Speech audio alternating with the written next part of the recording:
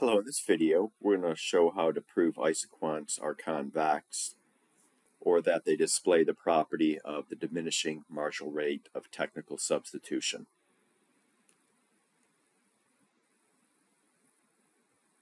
So prove that isoquants are convex to the origin. Here's a production function that will give rise to such isoquants. We get the marginal product of labor simplify down to the following. We get the marginal product of capital, and that gives us this result here.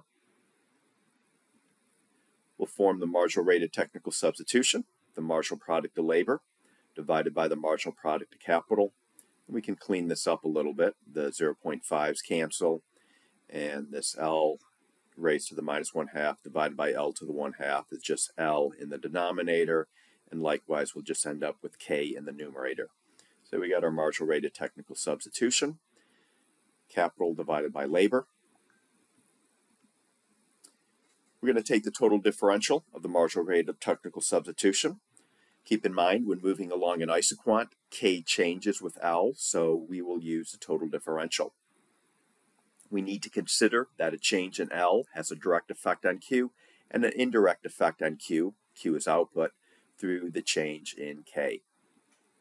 So here's our marginal rate of technical substitution. The total differential will look something like this. So the left-hand side can be thought of as the change in the marginal rate of technical substitution. Over here on the right-hand side, we're going to take the partial derivative, of the marginal rate of technical substitution with respect to capital, multiply that by the change in capital, plus the partial derivative of the marginal rate of technical substitution with respect to labor and multiply that by the change in labor. So the partial derivative of the marginal rate of technical substitution with respect to capital, that's just 1 divided by L that I have down here. And that's all being multiplied by a small change in capital. And then we're going to take the partial derivative of the marginal rate of technical substitution with respect to labor, so this k divided by L, we take the partial derivative of that with respect to labor.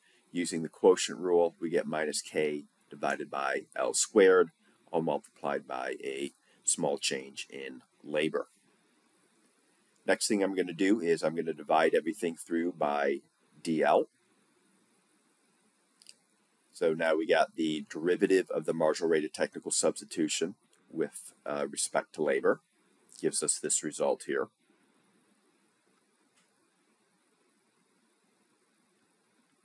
So that's just our last result after dividing through by dl.